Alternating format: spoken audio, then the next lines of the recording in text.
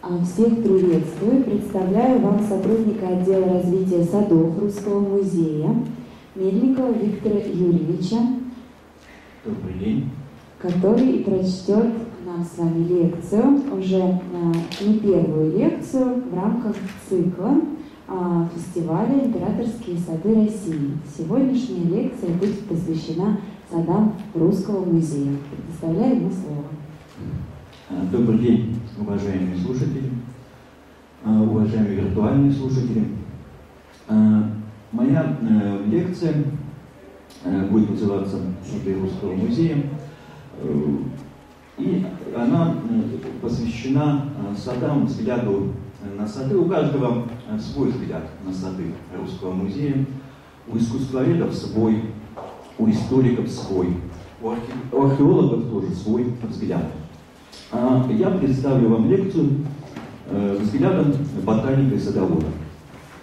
Э, Я сам ботаник, поэтому э, самое интересное, самое вкусное для меня будет в конце.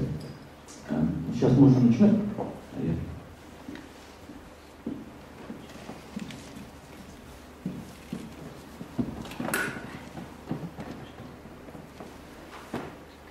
Для всех, для всех русский музей первую очередь ассоциируется с Михайловским садом.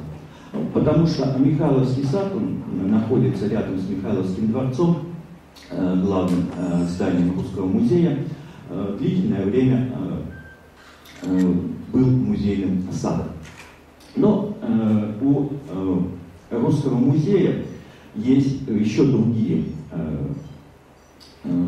сады. Ну, сейчас, можно дальше уже. Вот здесь они практически э, все э, присутствуют. Это, как вы видите, э, Михайловский сад, это э, летний сад, это э, сад э, вокруг э, Михайловского замка и инженерный сквер. Э, Также есть еще другие сады, о них я скажу чуть позже. Общая, общая площадь всех садов Русского музея 27 гектаров. Ну, много это или мало. Ну, если сравнить с Павловском, то это мало. Или с Коломенским, то это вообще чуть-чуть. А Если с какими-то другими с- сравнивать садами, то это ну, не, не- так уж и мало.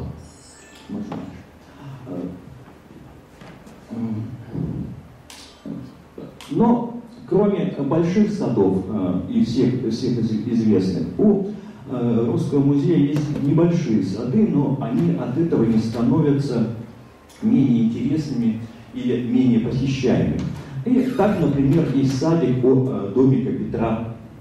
Он всего лишь, он всего лишь э, 0,4 гектара, э, и на его территории произрастает немного э, деревьев и кустарников, но тем не менее это первый, э, первый, э, первый э, э, дом, э, первое строение в э, Санкт-Петербурге. Э, Еще, еще у э, Русского музея есть э, курданер в мраморном замке. Э, Его площадь тоже небольшая, где-то 0,3 э, 0,3, э, гектара, но там уже растет э, всего лишь 83 дерева, э, 400 кустарников, в ос- в основном кизильник. Э, Вот так сейчас выглядит э, курданер мраморного э, замка. А Также, также э, у Русского музея есть еще, есть еще и зимний сад. Вот вы видите зимний сад в мраморном дворце.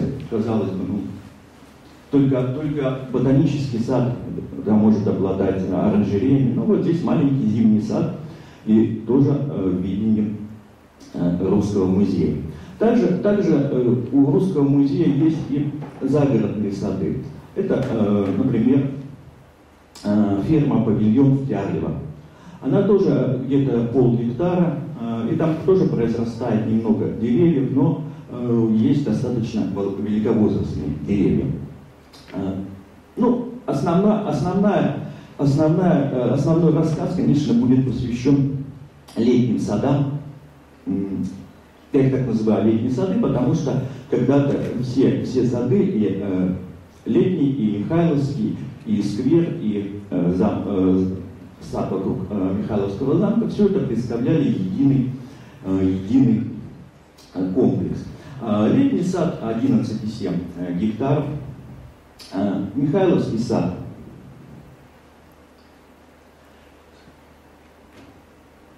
Михайловский сад 9,4, сквер инженерного замка где-то 0,2 гектара и сам непосредственно, сам непосредственно уже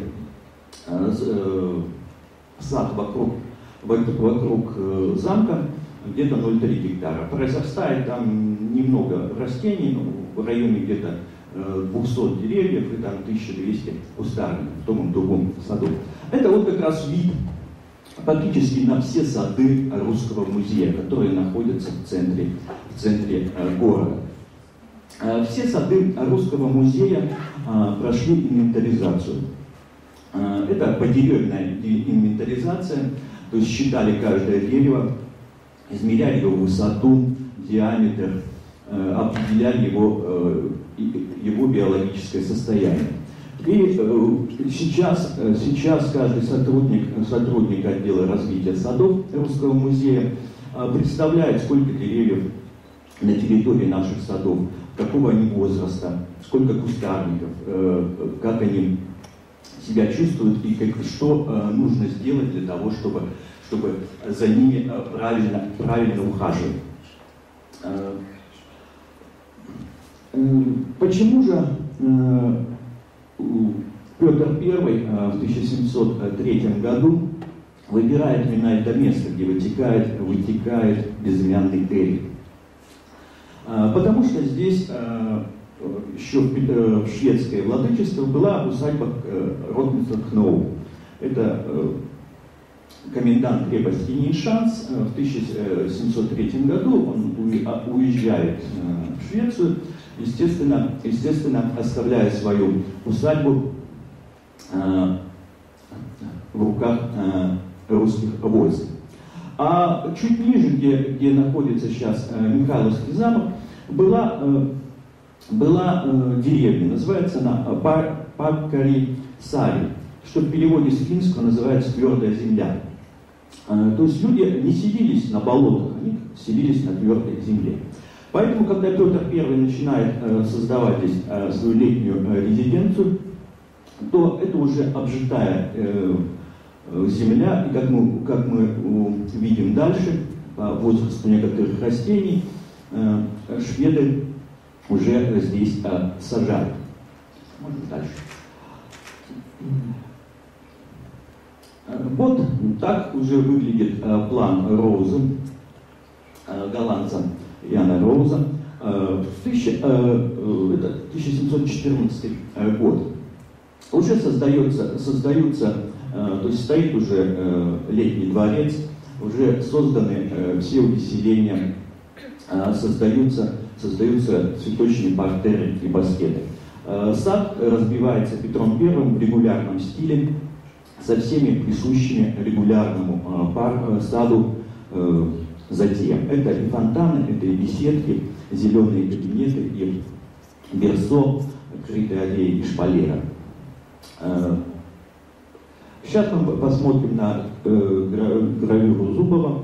Э, здесь вот уже прекрасно видно, что летний сад застроен достаточно активно, а там вот в отдалении даже видим шпиль золотых хоров. Потому что Петр I э, заботился о своей супруге Екатерине I и подарил ей так называемый шведский сад за Мойкой. Это как раз нынешняя территория э, Михайловского сада. И там постро... были построены вот называемые золотые хоромы.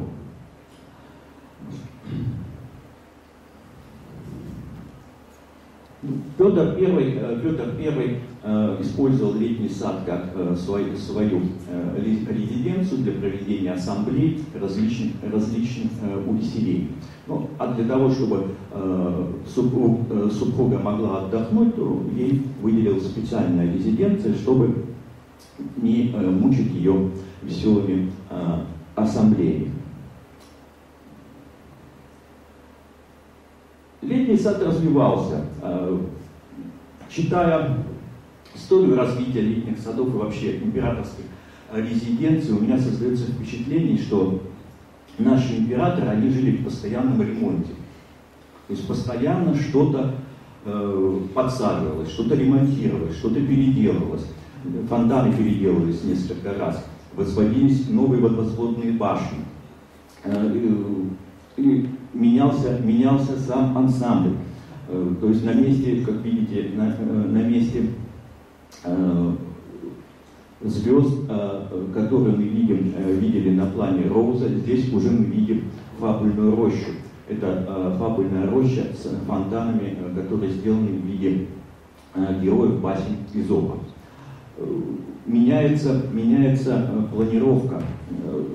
В верхнем, в верхнем правом углу мы видим, мы видим В верхнем правом углу мы видим э, огород э, с э, теплицами и парниками. Вот так, верхнем левом, извините. Э, э, что еще можно сказать о летнем саде? Ле, э, но Петр I не, э, не прекратил только развивать вот эту территорию летнего сада. Когда приезжает Леблон, он просит Леблона сделать общий проект, э, Леблон предоставляет ему проект, общий, на, э, рассчитанный на э, три сада. На первый летний сад, второй летний сад и третий, который находится за мойкой. По, по, Леблон уже на проекте рисует то, что уже построено, предлагает какие-то свои, свои решения.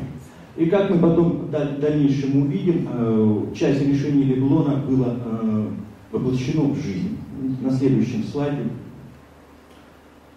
Это как раз территория Михайловского сада, третий, э, ну, тогда он назывался Третий летний сад, э, в начале 18 века. Как вы видите, э, очень много от, от плана Леблона было осуществлено на этом, на этом, в этом саду. Летний, третий летний сад был разбит в регулярном стиле. Пять пять э, дорожек, э, идущие, идущие с э, запада на восток, пересекались с восьми дорожками, которые идут, идут с севера на юг, деля всю планировку, планировку сада на такие квадраты, которые были засажены, засажены видовой посадкой, что очень свойственно для яблоневых садов. Здесь проживала Екатерина I, здесь, здесь были устроены и огороды. Нет, можно нас еще?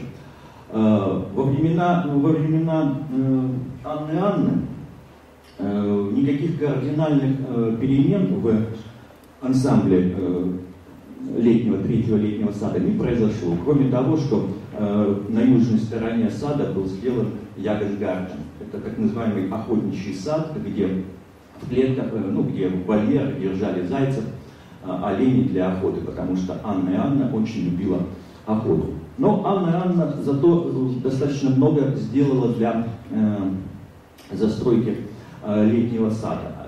Был построен еще один дворец, перед дворцом был разбит художественный партер. Все, все это, всеми этими работами занимался архитектор, архитектор Растрелли.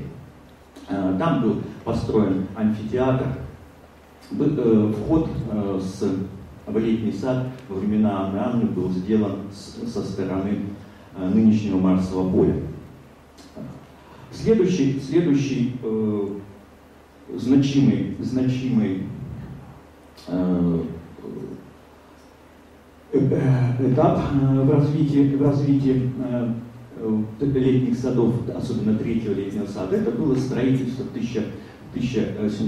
в 1741-43 годах э, третьего летнего дворца. Это уже было при э, э, Елизавете Петровне, дочке Петра. Дворец, дворец был построен расстреле, вокруг дворца, дворца был разбит чудесный сад. Мы сейчас увидим его план.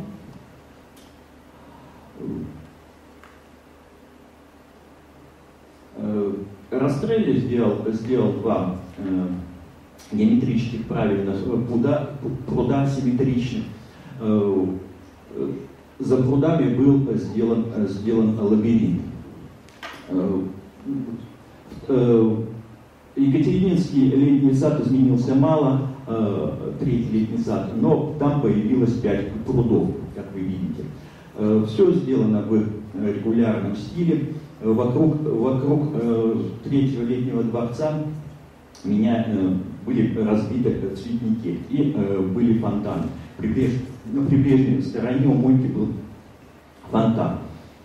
Очень интересно, очень интересно решил э, Растрелли э, центральную аллею между двумя прудами. Он, он ее пересек, пересек поперечной аллеей и тем самым вывел ее на э, аллею, построенную еще при Екатерине, и э, одновременно был выход э, с сада в дворец. Растрелли сделал, сделал очень большой лабиринт. Основной, основная, основная задача в этом лабиринте была это гулять, это дойти до центра, где была беседка. Во времена Елизаветы Петровны в летнем, третьем летнем саду появилось очень много развлечений. Были построены качели, горки, карусели. Была привезена даже большая липа, Э, живая, на которой была сделана беседка, и вокруг этой липы была сделана карусель. Ну, вот э, веселая царица была Елизавета. Э, поет и веселится, порядка только нет. Э, в, в екатерининские времена композиция, композиция третьего летнего сада не менялась. Единственное, что были разобраны золотые хоромы, которые пришли в негодность в связи тем, что долго не ремонтировались. Зато Екатерина хорошо очень э, поработала, если так можно сказать, поработала над э, первым и вторым летним, летними садами, где э, практически все э, петровские затеи были убраны в период царствования э, Екатерины II. Следующей, следующей большой вехой э, в истории истории э, летнего сада третьего, это было строительство Михайловского замка. Э, Михайловский замок был построен э, в очень сжатые сроки. Э, Павел I э, торопился, э, но пожил он там немного. И э, именно как раз э, во время строительства, можно? Ладно. Э, во время строительства Михайловского замка эта территория примыкающая к Михайловскому замку, начала называться Михайловский сад. Иногда ее еще, правда, называли, называли Верхний летний сад, но именно как раз с этого момента эта территория, так как она примыкает к замку Михайловскому, начинает называться Михайловский сад. Как вы видите, вокруг, э, вокруг замка вся растительность убрана, все Э, все э, барочные портеры своей э, бабки Елизаветы Павел I убрал, и из замка сделана неприступная, как ему казалось, крепость, вырыты рвы, сделаны, сделаны плацы. Зато остальной сад практически не меняется. Павел I любил выезжать туда по утру на лошади и наблюдать строгость Э, ровно стоящих подстриженных деревьев, ему все нравилось строго, и он этим, это любовался. Э, в южной части, в южной части начинает, э, как вы можете посмотреть, в южной части этого плана начинает строиться оранжерейное хозяйство для обеспечения, обеспечения садов посадочным материалом. При таких гигантских парковых строительствах, садово-парковых строительствах, посадочного материала э, постоянно не хватало. И э, уже начиная с Елизаветы Петровны и Анны Анны, э, часть материала просто перевозились с одного сада в другой. Во время, во время царствования Анны Анны был разбит на Марсовом поле, был разбит променад. Этот сад просуществовал недолго, как только к власти пришла Елизавета Петровна для обустройства своих лабиринтов, э, Растрелли в канцелярии, в канцелярии просил э, позволить ему выкапывать растения именно как раз с Марсового поля. Вот такая была ротация. Ну, э, хоть э, в 1716 э, году Петр I распорядился в районе крепости Ниншанс высадить питомник, но этих растений явно не хватало для такого гигантского садово-паркового строительства, которое развернулось в XVIII веке в Санкт-Петербурге. Да и во все, а во все остальные времена тоже. Следующей векой Э, да, э, в э, этой местности было строительство Михайловского дворца. Михайловский дворец строил, строил уже, по, строили по распоряжению Александра I для своего, для своего брата Михаила Павловича. И в 1700, 1822 году, после того, как был уже закончен дворец, в Черне э, продолжалась только внутренняя отделка, был разработан проект э, реконструкции э, всей прилегающей территории. И если мы сейчас посмотрим на план, то изменилось очень много что.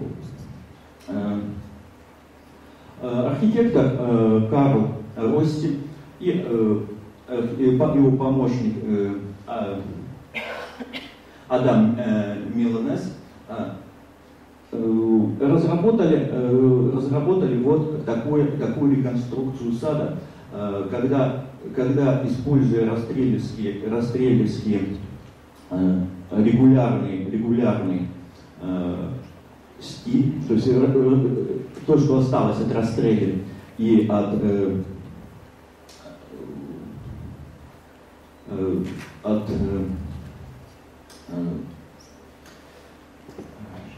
Леблона э, изменили, изменили и э, добавили в него, э, в него пейзажные, пейзажные мотивы. При этом они это все сделали очень гармонично и плодотворно. И так разобраться, Михайловский сад это, можно сказать, самый маленький пейзажный сад, который к тому же окружен, окружен как вы видите, окружен регулярными, регулярными э, прямыми аллеями. И все это смотрится гармонично. Э, был, были изменены пруды. Прудов, прудов, форма прудов стала, видите, более такая свободная, овальная.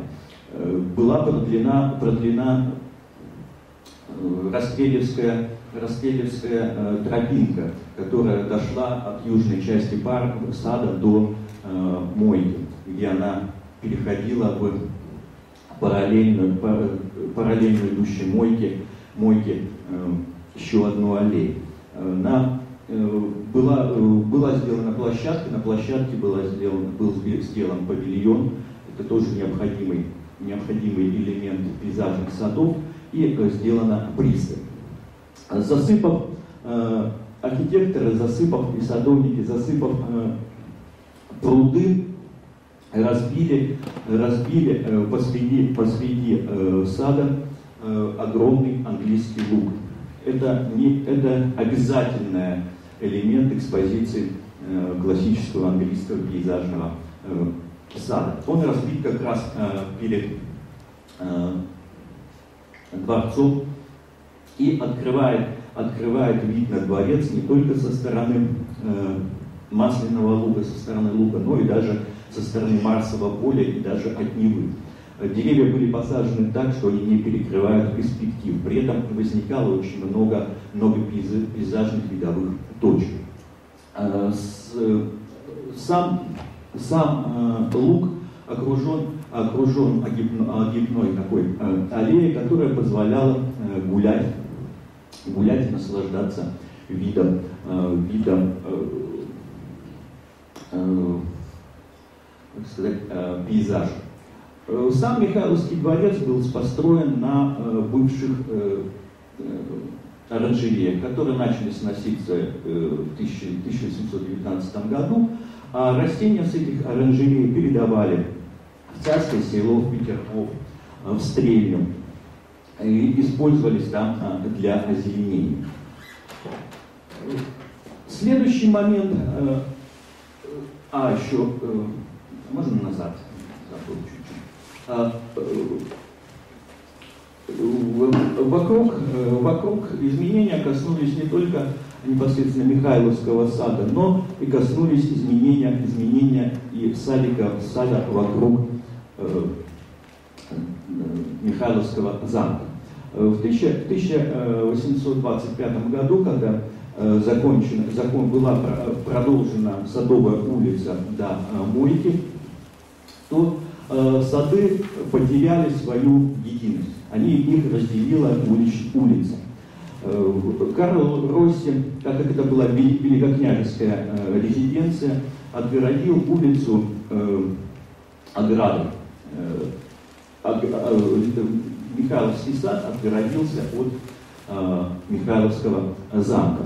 Э, э, вокруг Михайловского э, замка Росси э, сделал, сделал посадил два ряда лип очень строгим таким каре.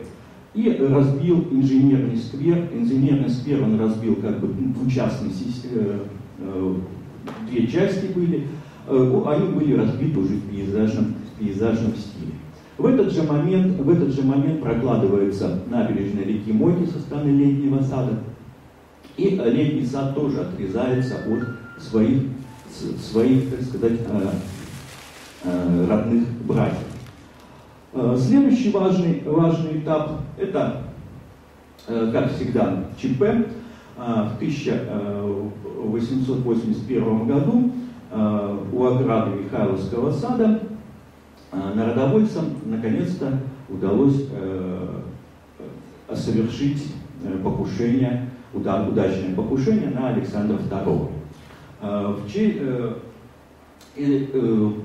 в 1886 если не году начинают строить, строить Спас на Крови, или Спас Христа Спасителя.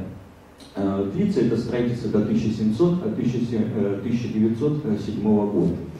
Э, землю выделяет Екатерина Михайловна, это э, последняя владелица, владелица Михайловского замка, она выделяет территорию и часть Михайловского замка уходит на строительство, на строительство Э, Спаса на краю. Вокруг него, чтобы отделить от Михайловского э, сада, э, возводится, возводится решетка, также возводится риза, церковная риза, или как у нас ее называют иногда церковный дом.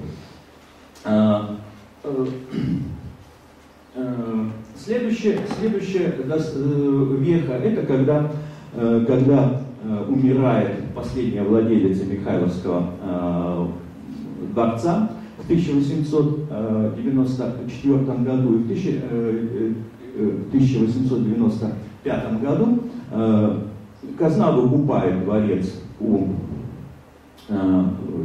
потомков, и Николай II подписывает указ о создании русского музея. Так, Русского музея в 1889 году он открывается после ремонта, и у Русского музея появляется свой сад. Но это с одной стороны он был свой, с другой стороны он начал принадлежать городу. И поэтому, поэтому в начале, в начале 20 века начинается Э, массовая, как мы сказали, уплотнительная застройка Михайловского сада. Начинает возводиться э, здание этнографического музея э, в одном конце, конце сада, в юго-восточном. Засыпается один из прудов, потому что он обмелел, и нужно было куда-то складировать строительный мусор, ну, чтобы далеко не вывозить. Э, были, были приняты были э, проекты строительство э, создания музея Суворова на территории, на территории Михайловского сада. Э, Госдума вообще э, предложила вырубить сад и построить здесь э, здание э, для заседания Госдумы. Слава Богу, все эти проекты не осуществились, а, но хотя территория сада уменьшилась. То есть уменьшилась за счет того, что а, был построен этнографический музей, музей, который построен был только в 2016 году. Э, за счет уменьшилась за счет того, что в 2014-2015 году построили на территории э, сада, построили, построили школу народного искусства. Тоже благородное дело, но Ради этого, ради этого был уничтожен целый, целый массив. Это, считайте, 30 квадратных саженей. Э, был построен дом на территории э, э, Михайловского сада. Михайловский сад стал уменьшаться. Революция не способствовала расцвету Михайловского сада. В 19 году, в 19-20 году э, на территории Михайловского сада был э, организован э, огородный корпоратив из э, э, кооператив, извините, э, из э, сотрудников, из сотрудников русского музея, которые занимались выращиванием на территории, на территории Михайловского сада овощей для своего пропитания. Э, Но ну, э, русский музей пытался, как мог, э, ухаживать за Михайловским садом. И даже до 1923 года в штате Русского музея был садовник, который именно ухаживал за Михайловским садом. Была оранжерея, где выращивалась рассада. Правда, во время разрухи, после революционной она была разрушена, но тем не менее э, горшки там сохранились. То есть горшки потом даже передавались уже, когда сад стал городским. А, в 20-е годы, а, в 23 начиная с 23 -го года, э, городское правительство решило э, сад забрать в городские нужды, сделать его свободным. Э, э, руководство, руководство Русского музея этому противилось, потому что э, у них были там сторожа, и тем самым обеспечивалась охрана. Закрывались ворота, они пытались как-то ремонтировать ограду. Когда, когда сад передали городу, должная охрана не обеспечивалась. Был всего лишь один, один э, сторож, который даже мог уйти, не закрыв двери. Ну, вот рабочий день у него закончился, он сел, ушел, встал, ушел, даже не закрыл ворот. И приходилось, приходилось сотрудникам Русского музея э, выгонять запоздавших посетителей из Михайловского сада. Причем э, подплывали на лодках, то есть было такое э, достаточно э, сложное для сохранности коллекции э, летнего э, русского музея время, когда люди заглядывали в окна э, Михайловского дворца. И было принято такое очень оригинальное решение из подсобных материалов, то есть из бревен и колючей проволоки отгородить Михайловский сад от Русского музея. И то есть сколько, какое-то время, какое-то время Э, Михайловский сад представлял такое чуть ли не военное поле действия. Э, но по-другому, по-другому администрация никак не могла решить. А с городом э, была длительная переписка, но она ни к чему не привела, и, го, и городское, городское садовое хозяйство начало, начало наводить порядок, как она считала по-своему. Ну, во-первых, то, что сразу же, ну, в 30-е годы парк переименовали МРОП. Это Международная организация помощи, помощи э, э жертв революции. Вот, с селекционером, извините. А, и э, вот в, 1000, э, в 1929 э, году Соловьев э, своял вот такую вот э, дерево свободы, где, где из дуба он вырезал, вырезал три составляющих угнетенных крестьян, борющихся за освобождение и достигшие наконец-то хорошей свободной жизни. Было, было, был через масляный лук для того, чтобы обеспечить транзитный проход отдыхающих, была проложена дорожка, чем был нарушен сразу же смысл, облик э, этого э, ландшафтного, ландшафтного э, объекта. Вывозилась земля, когда нужно было на поле жертв революции устраивать газоны, земля вывозилась как раз с Михайловского сада. Окончательно был засыпан пруд, были сделаны различные площадки, эстрады, были вот поставлены такие вот скульптуры, Э, как вот, например, здесь э, Ленин Гетин, 38 год. Э, сад становится постепенно, постепенно становится городским садом сказать, культуры и отдыха. Ну, это, в принципе, коснулось и летнего сада, но это к этому потом чуть вернемся позже. Сейчас давайте про, просмотрим э, дальнейшее развитие Михайловского сада.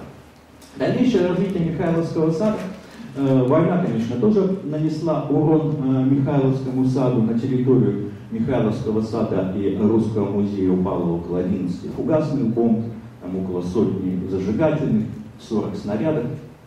Э, Потом, э, потом были предприняты попытки э, реконструкции, реставрации сада, э, придания ему облика, облика начала, начала 19 века, как раз вернуться к проекту Карла Росси. Но все обычно заканчивалось просто, просто ремонтом дорожек, подсадка, хаотичной подсадкой деревьев. В результате, можно дальше, в результате к началу, к началу уже 21 века сад был, представлял вот такой вот вид. То есть были, были прокопаны дорожки, а, были разбиты эстрады. В 70-е, 70 годы в левом, в левом верхнем углу, углу северо-западном углу сада был разбит теннисный корт. Должны же люди приобщаться к спорту. Э, на пруду катались дети на коньках. Все было, все было э, в порядке вещей. Могли загорать на газонах. Э, была транзитная дорожка, были пробиты достаточно много транзитных дорожек. Пруд был засыпан. Окончательно засыпан. Когда когда был построен мост Гривцова, сейчас это Новоконюшенный мост, недалеко от э, Спаса на Крови, то э, и по нему пустили трамвай, то, э, то в 70-х годах э, перенесли ограду, отодвинули от э, стен э, школы искусств и э, школ народного искусства, и э, Михайловский сад решился еще э, часть своей, своей территории. И тем более была нарушена симметричность ограды, которая была задумана рядом с Спасом на Крови.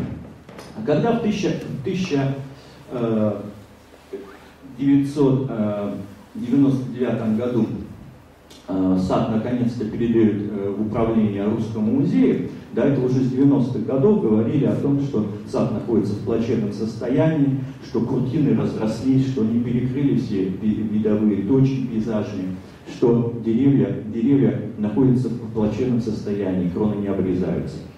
И в конце концов, э, в 1999 году парк э, передали. И в 2000 году было принято решение проводить э, реконструкцию, реставрацию Михайловского сада. И она начинается, начинается в 2001 году, проходит несколько этапов. И после этой реставрации, также реставрации подвергается и садик вокруг, вокруг Михайловского э, замка, потому что Михайловский замок тоже передают Русскому музею. И э, территорию вокруг э, Михайловского замка, она была свободна для посещения. После ре, э, реставрации она отгорожена и сейчас э, работает как внутренняя, внутренний сад Русского музея. Вот сейчас это современное состояние Михайловского сада, восстановлен, восстановлен второй пруд, проведена, проведена засыпана часть, часть тропинок, ну, правда, вот центральную, которая перерезает, перерезает масляный лук, так и не засыпали. Почему? Ну, это непонятно. Э, были, были подсажены новые деревья, старые были убраны, э, э, были, достаточно много было деревьев подсажено, все более-менее приведено в порядок. Ну, теперь оставим на чуть-чуть Михайловский сад, к нему мы еще потом вернемся, и вернемся обратно, обратно в далекий в далекий 18 э, век. Но перенесемся уже географически на другую сторону, сторону Мойки, где как раз находится, находится первый и второй летний сады. Это расцвет летних садов, это Елизавета время. Были, было построено достаточно много павильонов, Елизавета, Елизавета, Елизавета ничего не меняла в летнем саду, ничего не убирала. Э, Но ну, единственное, э, что пострадало, это пострадали э, фигурки изоповских героев изоповских басен. Елизавета Петровна не любила мышей. А как, как, как ни странно, почему-то в баснях всегда присутствуют мыши и кошки. Ну и там гора, родившая мышь и подобные и когда она пошла гулять по этой фабульной роще, она сказала, ой, как много мышей, нужно мышей заменить какими-то более пристойными животными. Ну, ничего, ничего лучше не, не придумаешь, как просто мышей снять. Э, в э, Елизаветинские времена э, начинают, так как уже летний сад не использовался как резидент, как императорская летняя резиденция, в летний сад начинают пускать прилично одетую публику. А, ну, прилично одетая публика – это э, понятие достаточно э, э, растяжимое. Например, одного купца не пустили, потому что он был с бородой. Когда он сбегал, побрился, его не узнала невеста, с которой он должен был встретиться на, э, как раз э, внутри летнего сада. Э, теперь э, перейдем э, к времени правления, правления Екатерины.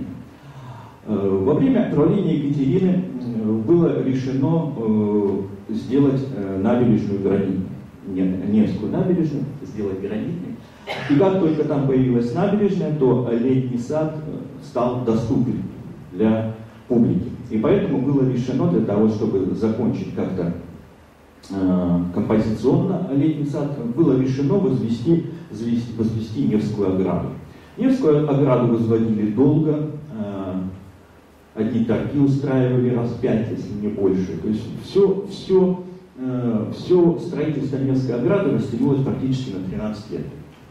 Э, после того, как была построена Невская ограда, э, опять в очередной раз, в 1777 году случается, случается наводнение, э, часть э, то есть деревья погибают, то есть ломается, фонтаны, фонтаны приходят в негодность, но Екатерина не сразу отказывалась, как вот у нас пишут в книжке, в 1777 году все фонтаны засыпались сразу же.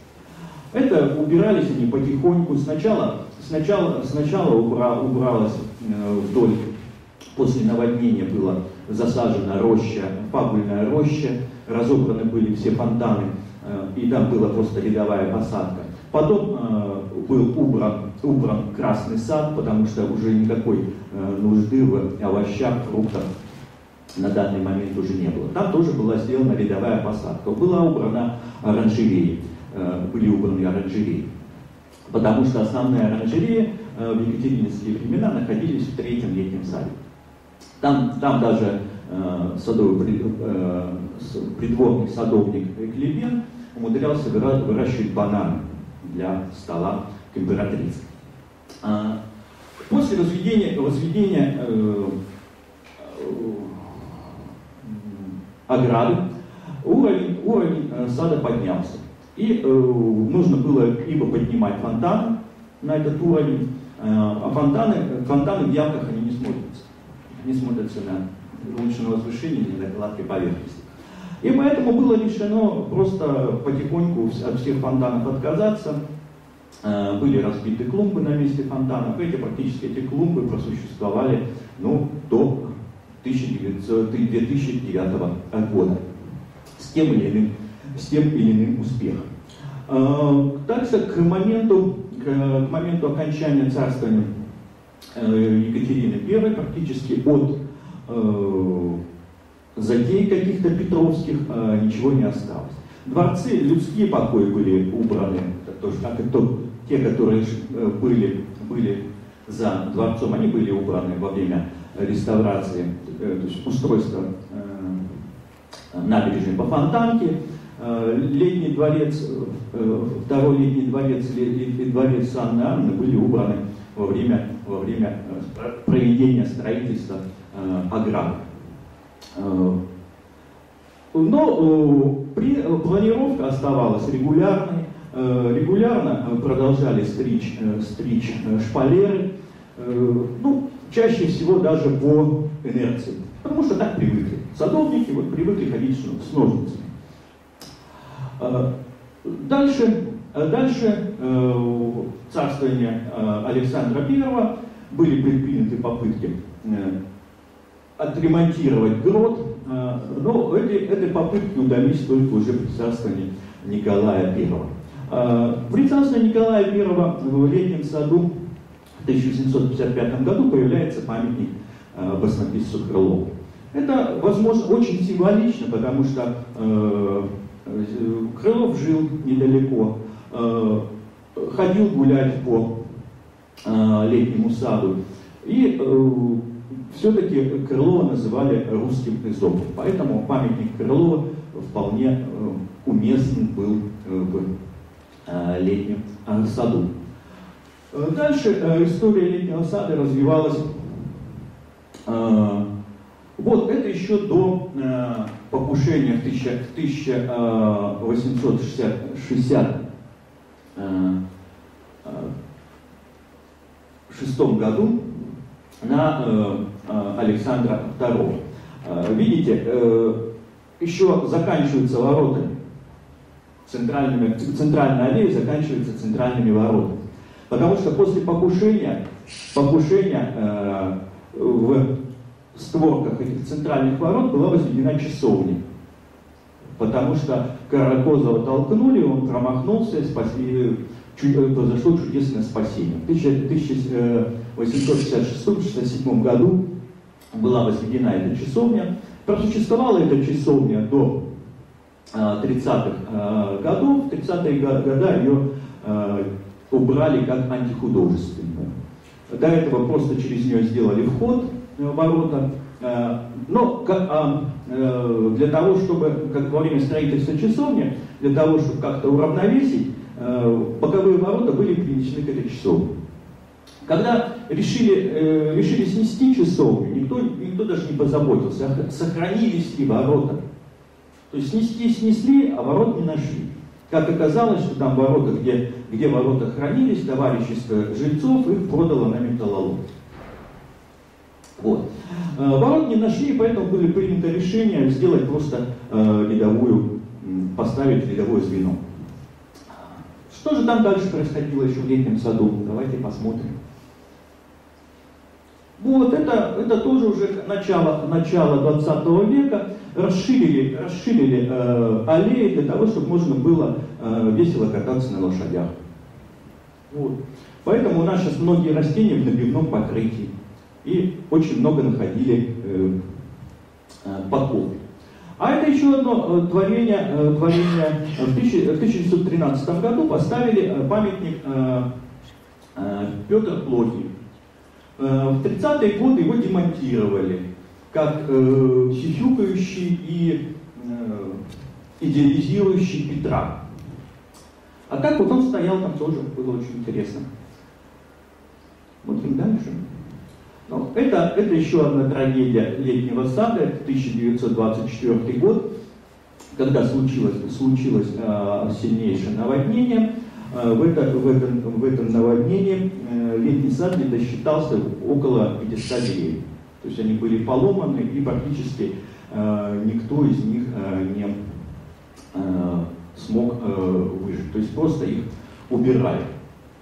Э, в, э, с 18 года, э, когда э, нужно было передать кому-то кому, -то, летний дворец Петра I, э, творение Трезини, и скульптуру, садовую скульптуру, не нашли ничего лучше, как это все передать историко-бытовому отделу Русского музея. Ну, где находится Русский музей, где находится летний сад.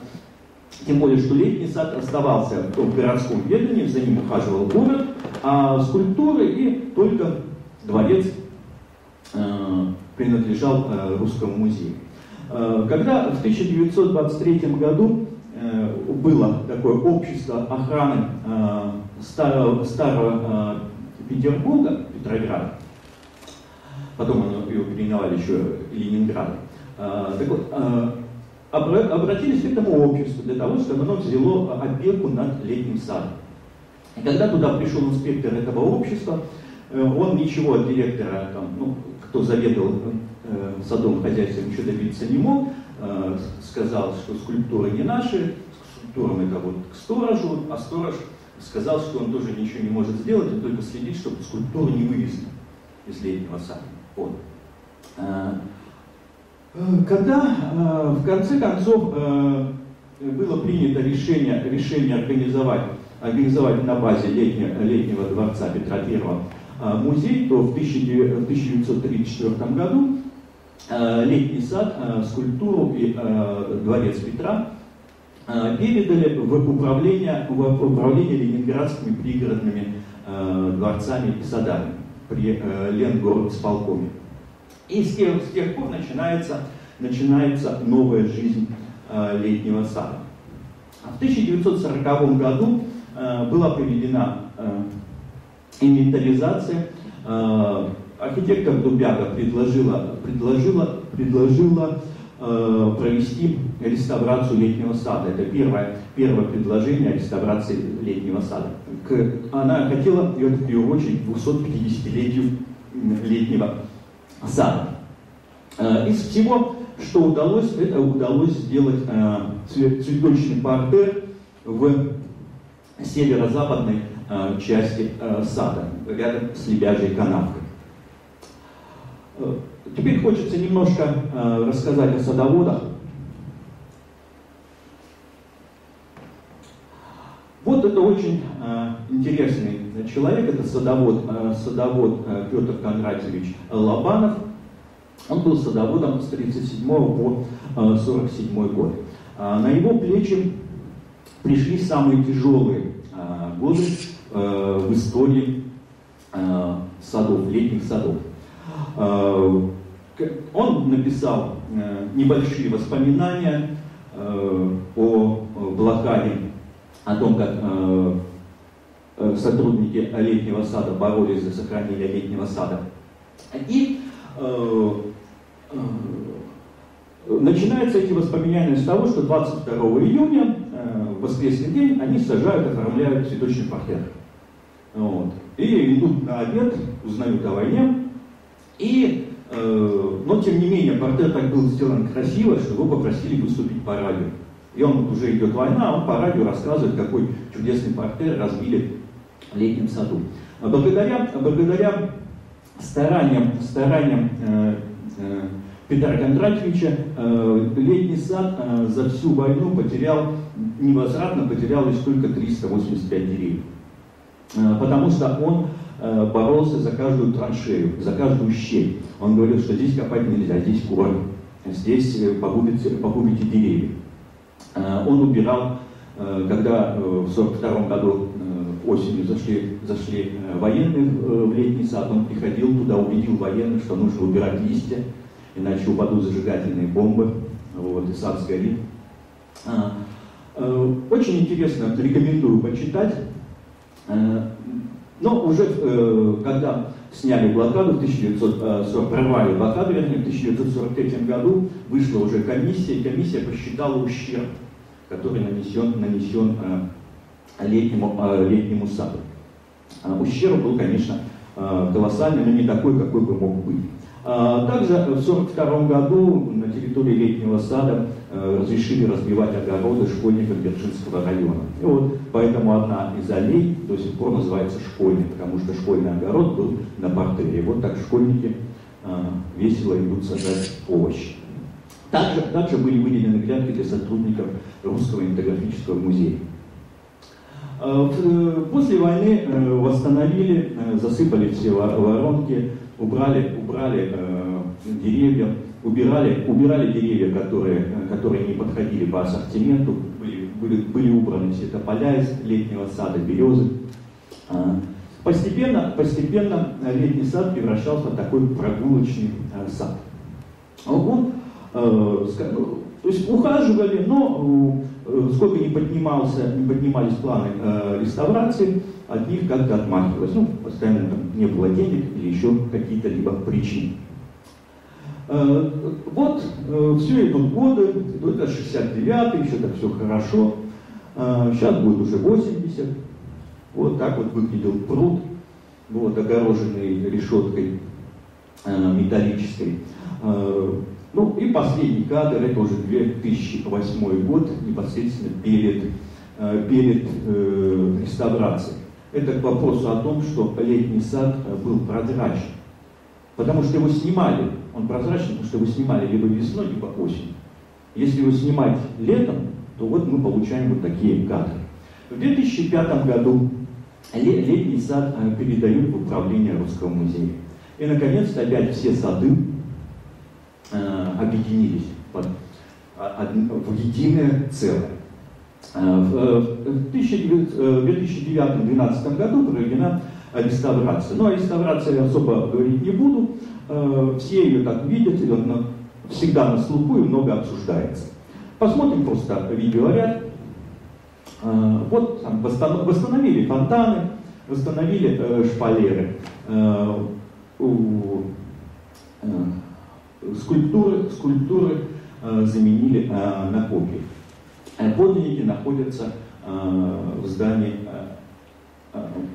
Михайловского замка. Вот восстановили, восстановили оранжерею. Вновь, вновь, как в петровские времена, появились кадочные растения. Вновь появился Петровский огород.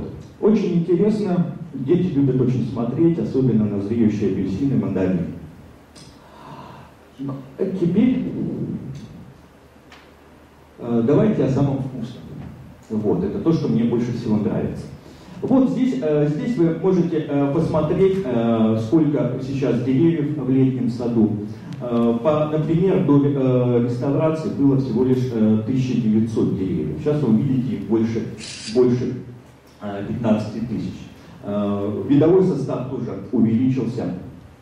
Это по летнему саду. Кустарники, лианы двух, трех видов по Михайловскому вот следующие данные. Вот это в Михайловском, в Михайловском саду, да, здесь поменьше, э, поменьше деревьев, потому что нет шпалеры берсо. Э, зато э, э, количество кустарников тоже меньше, но зато видовое разнообразие больше. Видите, там аж 32 вида.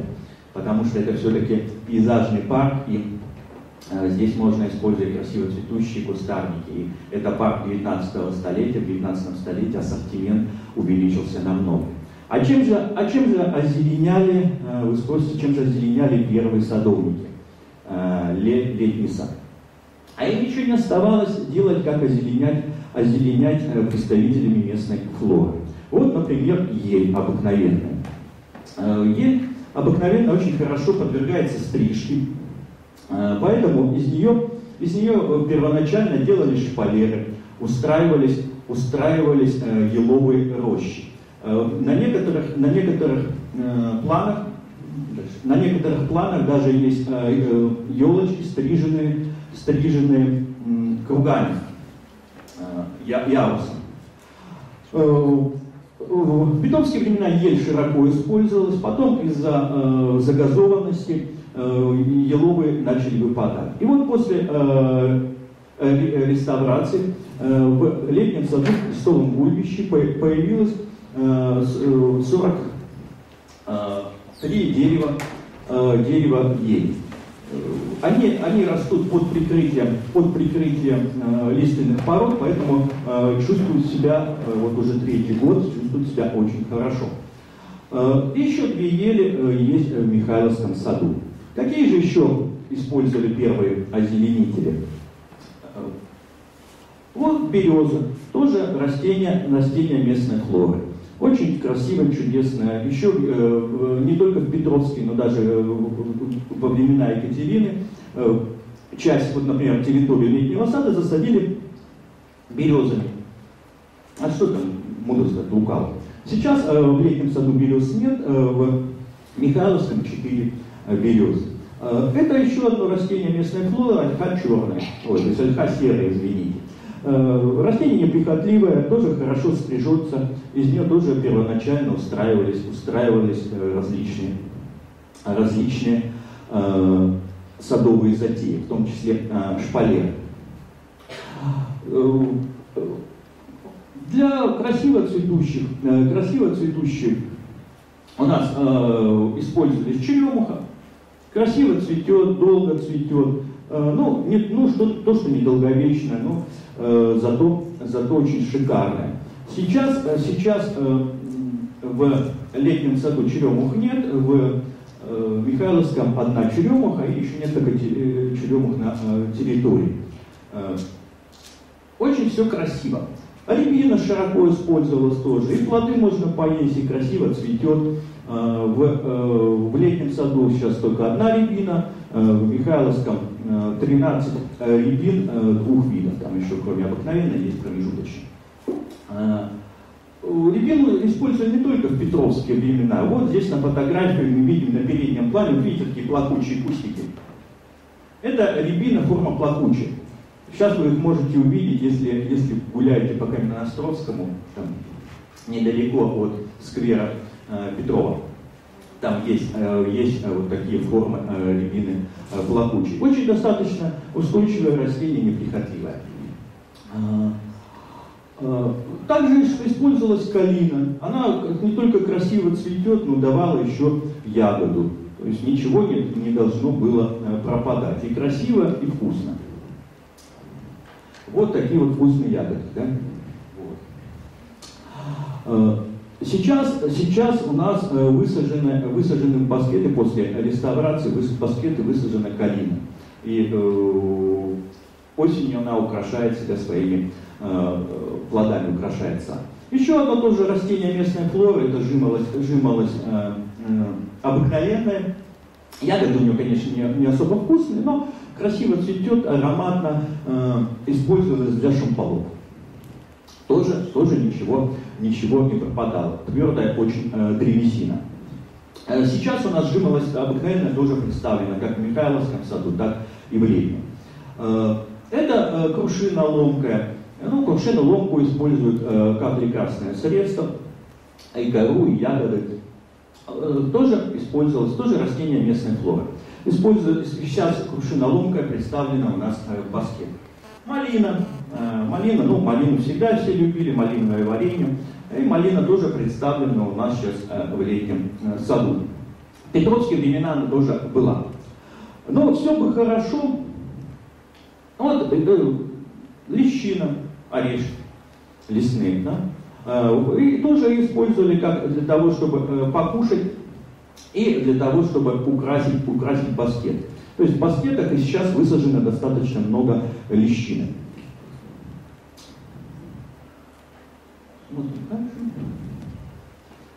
Вот. Но э, были, были неудачные попытки, но ведь нельзя же жить Петр I создавал летний сад как э, парадиз, как рай на земле. Но какой же рай, если э, под сенью берез, черемух, э, ольхи, елок? Надо же какие-то экзотические растения. Поэтому уже в первые, в первые годы он, используя не только местную флору, привозит, привозит и другие привозные растения. Привозились они обычно большими. И э, кедры привозились, например, из Солоколамска. Э, э, кедра, кедр сибирский или сосна кедровая сибирская.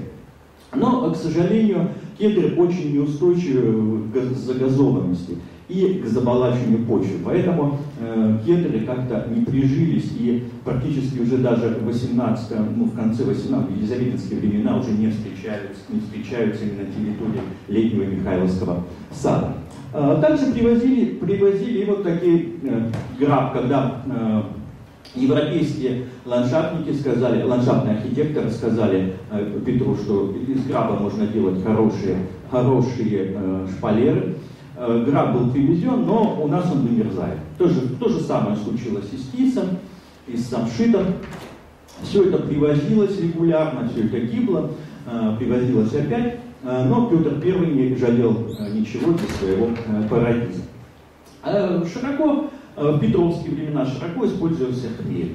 Во-первых, для того, чтобы озеленять вертикальные, вертикальные территории, использование, использование шишечек хмеля. А сейчас хмель не используется, потому что появились другие декоративные, декоративные лианы. Давайте дальше.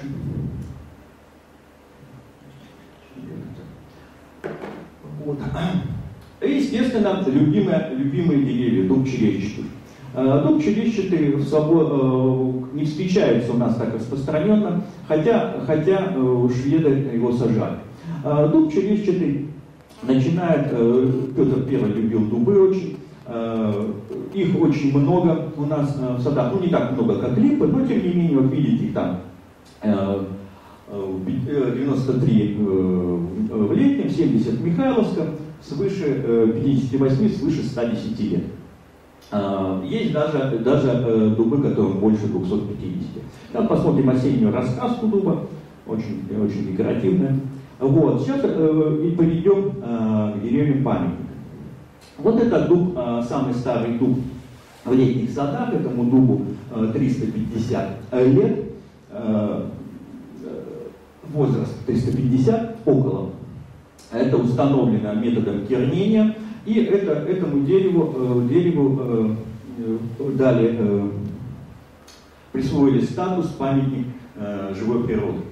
Это организация федеральная, Русский музей, Русский сады Русского музея заявили несколько деревьев. Вот выбрали два дерева. Одно в летнем саду, другое в Михайловском саду. Вот он дуб в Михайловском саду, этому дубу 287 лет. То, то есть э, дуб э, в летнем саду, э, он еще до Петровского. То есть это еще осталось от шведов. Почему я говорю, что швед, здесь территория была освоена. Вот это тоже дуб, памятник в Михайловском саду. Вот такая вот табличка у него. Вот. Ну, пойдемте дальше. Тут через 4. Можно посмотреть, увидеть. Э, использовались широко и каштаны. Каштаны были любимым, э, ну, то есть он любил, э, Петр I любил каштаны, какой-то каштан конский, не, несъедобный, но, тем не менее, их завозили из Голландии, почему-то, хотя это растение с Балкан, но, тем не менее, в Голландии его любили и высаживали. Смотрим дальше, что мы имеем по каштанам. Каштанов у нас очень много, ну не так много, чтобы как это самое, но есть э, растения, которым даже э, самым старым больше 110 лет. Это цифры э, э, Михайловска, э, летнего Михайловска. Это у нас э, липа, э, э, липа, э, липы деревья считают, мы посчитаем отдельно, отдельно стоящие тем, кому э, больше 200 лет и там больше 300 лет а шпалеру липу и берсо мы посчитаем отдельно. Эта э, цифра указана в, в обоих э, садах, и в Михайловском, и э, в Ленине. Этой э, липе 200 лет. Вот это у нас э, липы долгожители, им по 300 лет. Э, их, э, они, приобрели такую форму, потому что они регулярно подвергались стрижке. То есть это бывшая шпалера. И лишь когда потом ее перестали стричь, отпустили, они э, все-таки подросли, но вот о своей бурной молодости вот оставили такие наплывы на стволах. Это у них у нас там на лебяжий канат, на портере. Это, это у нас э, э, липа шпалерная, ее высажено больше, э, больше 12 тысяч. Э, все баскеты обнесены э, липой шпалерной. Это э, обыкновенная липа мелколистная, просто ее стригут и не дают ей расти. Также, также у нас есть липа персо, это специально выращенные липы, их изгибают в молодости, они потом привязывают к таким конструкциям, так называемым погибным аллеям. Их у нас там 357 штук. Дальше. Это лиственницы, возраст 100, 180 и больше. Тоже, тоже все, как, ну, можно представить уже, вот лиственницы, это тоже указано, 5 лиственниц в, э, в летнем саду, 15 в Михайловском. Это вязы, с у нас, а, да, это вязы, с у нас беда, вязы у нас э, умирают от усыхания, э, поэтому количество их точно э, постоянно уменьшается. Э, но э, сейчас э, пришло, с запада пришла э, э, панацея, это вяз резиста, э, устойчивый к усыханию. Их у нас 15 в летнем саду и 2 э, в Михайловском. Это клен астролистный, тоже э, второй по величине после, после липы. Липа у нас на первом месте, клен идет на втором. Клен красив и весной, когда цветет, очень рано, в начале мая цветет, и осенью, когда расцветают листья. Э, вот у нас самый старый, э, старый клен, ему 190 лет, он тоже, кстати, был заявлен э, на памятник природы, но выбрали дубы. Это у нас ясени, тоже, их у нас немного, самому старшему 100, 180 лет. Это э, спирея. Спирея широко используется как в летнем саду, э, так же, как и в Михайловском и на территории. Это э, красивая спирея э, пепельная или грейсгофа, как ее еще называют. Очень красиво декоративно цветущая. Э, другие спиреи даже, кстати, красиво цветут. У нас еще спиреи дубавка листная, береза листная и прочее. Тоже растения, э, некоторые растения местной флоры. Это жимолевская прихолья. Это лиана, бьющаяся лиана, красиво цветущая, используется для вертикального озеленения. Это сирень.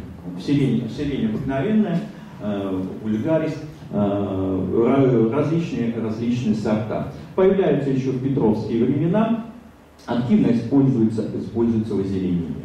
Это у нас жимолость татарская, э, которая тоже используется в озеленении. Э, в Михайловском используется еще съедобная голубая.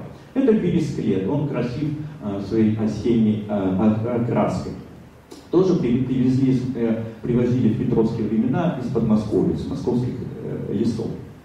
Это его плоды. Это у нас плотник, тоже американское растение, тоже появляется где-то в, 17, в конце 17 века.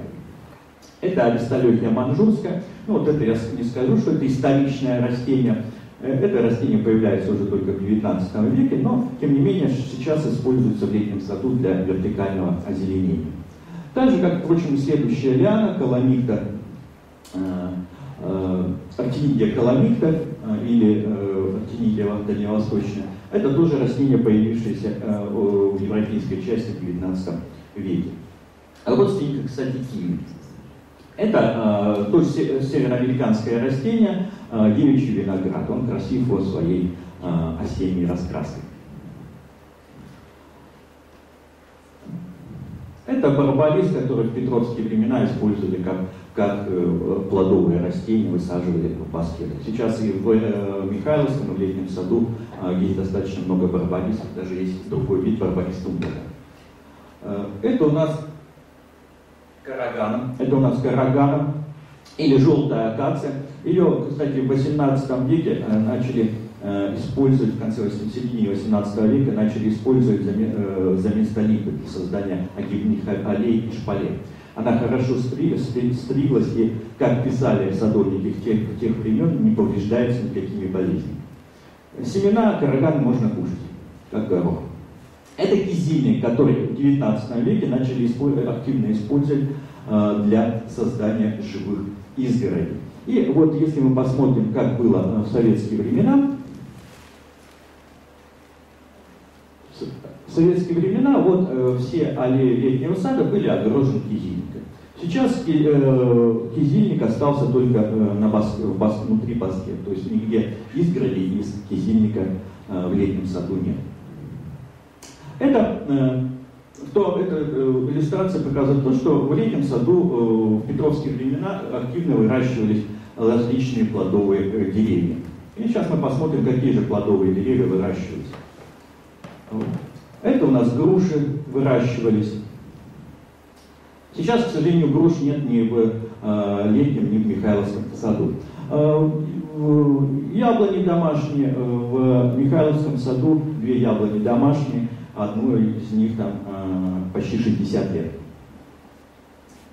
Ну, э, э, боярышник однопестичный выращивался тоже как плодовое растение. Сейчас выращиваются другие виды боярышника. Вишня, вишня обыкновенная и вишня войлочная. К сожалению, в летнем саду их нет, но в Михайловском они представлены так называемый черещ-четырлес. Правда, это не черешня, но все считают, что черешня. Вот это вишня, вишня войлочная. Э, Еще очень интересно, э, есть э, в Михайловском вот такой вот экзот. Все его называют сакура. Но на самом деле это Луизиана. Хотя на самом, на самом деле некоторые садоводы относят тоже к сакуру. Потому что это, это, когда-то это был миндаль, потом его переименовали в Луизиану. Вот теперь о, о жизни садов. Очень кратенько. Вот э, в летний период в э, Красном саду у нас по, проходят экскурсии, э, посвященные истории, ботанические экскурсии, посвященные истории развития овощных культур и пряных трав. Эти истории, эти э, экскурсии про, проходят э, в режиме, что можно понюхать, э, вот, попробовать на зуб, если кто захочет. Но пряные травы лучше нюхать. И идет в режиме, опять же, интерактива я могу задавать вопросы и ждать на них ответ. Вот это у нас праздник сбора урожая в, в, в летнем саду. Устраивается каждую, каждую осень вместе с закрытием фонтанов. Следующий это уже акция «Древо жизни», где Э, различные известные люди сажали в Михайловском саду, сажали деревья. Было посажено 18 деревьев. Э, акция посвящена защите старовозрастных деревьев. Э, были, были торжественно, торжественно открыты таблички, после этого произошла, прошла посадка деревьев. Также у нас в Михайловском саду регулярно проходят, уже с 2008 года регулярно проходят императорские сады России. Вот это первый императорский сад э, и композиция. Это в последующем, это итальянский полный. И э, напоследок э, анонс. С 5 по, по 14 июня э, будет э, в Михайловском саду будет проходить проходить очередной восьмой э, фестиваль э, «Императорские сады России», который в этом году посвящен садам э, Шелкового пути. На 10 дней Михайловский сад станет таким восточным базаром, где можно будет попробовать восточную пищу, посмотреть чайные церемонии, прослушать лекции о шелке и растениях шелкового пути. Это э, для интересующихся кратенькая информация о летнем саде. Книги, которые э, рекомендуются э, для увлекающихся э, садами Русского музея. Спасибо за внимание.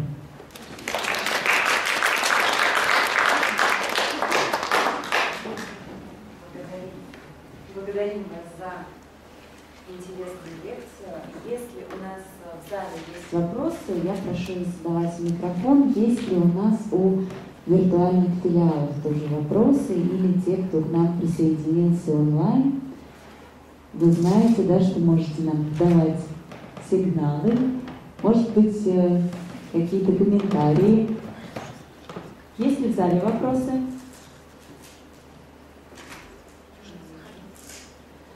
У Южно-Сахалинска есть вопрос. Слушаем вас.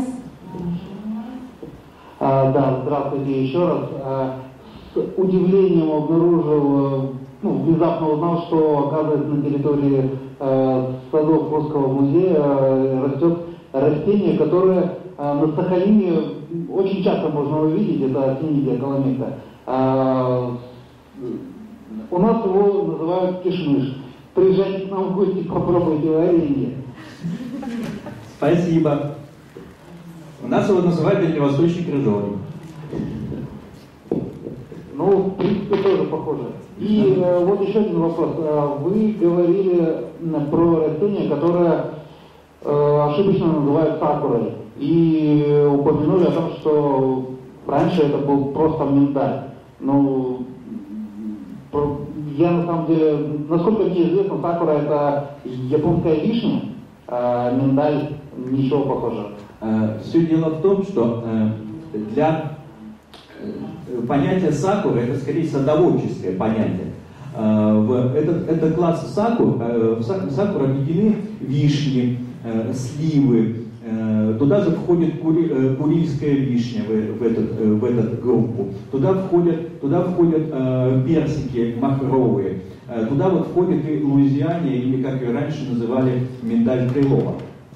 Э, она с махровыми цветками, и все, что махровое, э, это все э, объединяется вот в такую садоводческую группу сакуры. На самом деле это разные, разные роды, а не то, что, не то, что разные виды.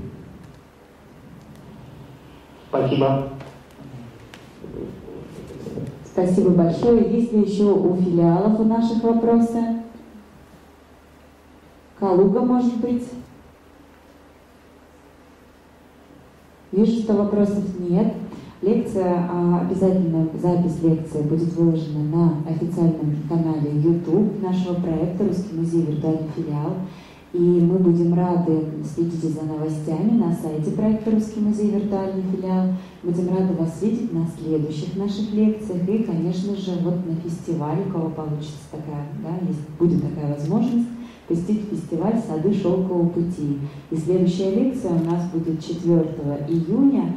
А, сотрудники ботанического сада прочтут нам лекцию о растениях шелкового пути. Лекция будет в 12.00. Всем спасибо за внимание.